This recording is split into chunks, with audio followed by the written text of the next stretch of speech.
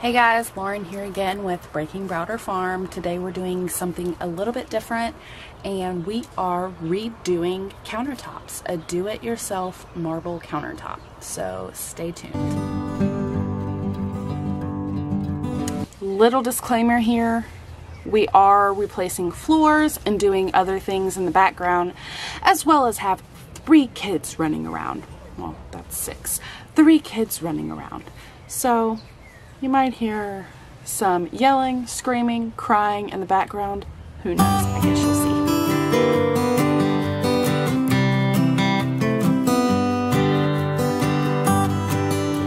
First step, Brillo pad. Wipe them down real good. Make sure that they're soft and smooth. I've done that behind me. Now we'll do it here.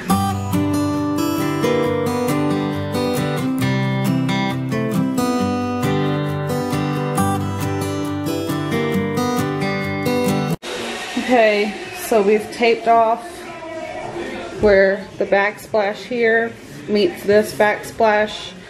We're gonna, we've got something else planned for that. Taped off underneath the counters, the tops of the drawers, tops of appliances, backs of the sink and the sprayers. Hey Patty, I see you resting out there. So this is what comes in the kit, your top coat. You put it on, wait for four hours. You've got 2A, which is your gray marble. Your 2B, which is your white, and then your top coat. It also comes with a sponge to edge in, a paintbrush, two rollers, a bottle, and a sponge, but we use the sponge on the fireplace.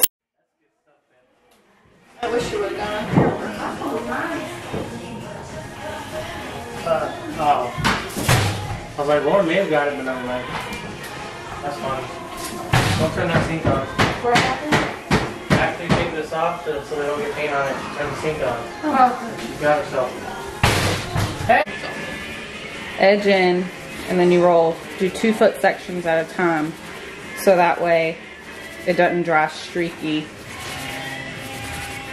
Keep kind of rolling over it, getting it nice and smooth. So we're done with our first coat here. It will look streaky. Let it dry for four hours.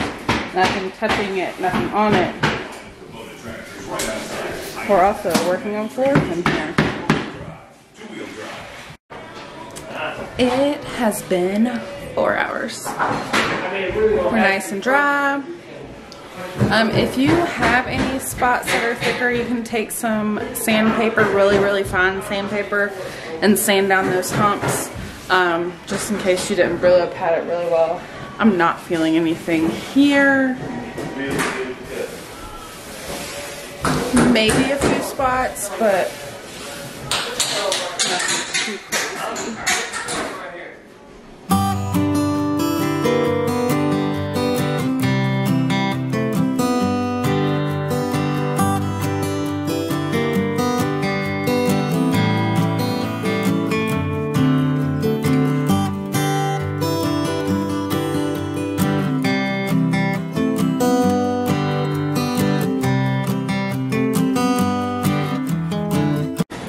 Day two. So it's been overnight. These counters have dried. There are a few little bumps on it. I got some 150 grit sandpaper. Apparently it's how you do cars according to my loony bin. That's right. Um, so we'll sand them down and then we'll get to doing the lines. All right, part two. I've got 2A, the gray, and my paintbrush and my brush so I can put it in and my water. We're just going off of what they did on this other video that I watched. So this really makes me nervous. All right, first line. I said do it in one foot sections, so I'm gonna go a little bit shorter. one foot section spray it. And that's just water.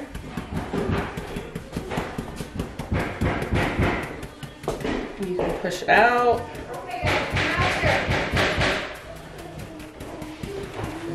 Push it out this way.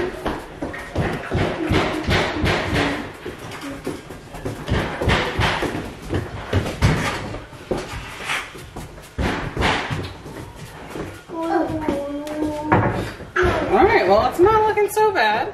Oh, good. Alright, alright. Which way do you want me to go? Whichever way my hand Yeah, goes. You're the artist. Oh. Oh, not that way. Oh gosh. That added some dimension. I've got my brush here. My spray bottle's over there. But you spray it and you feather it in, you feather it out, you add some different lines. You do go ahead and do all the cabinets and countertops first, and then you'll bring it up to your backsplash. You want to add it in the direction that it's going on the top, and then the same with the bottom. And I've added a couple ghost lines in here. If you don't like one of your lines, you can spray it and wipe it off with a paper towel. Also take your brush and keep a paper towel in your hand to keep any excess moisture off. That helps with the lines as well.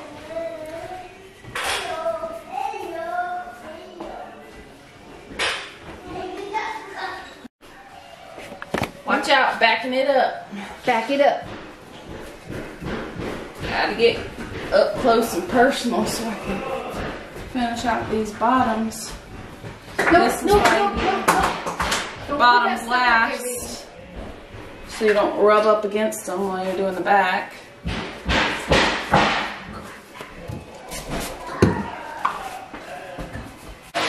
So it's been an hour. We're dry. Uh, we're living a little dangerous here, but it's time for the top coat.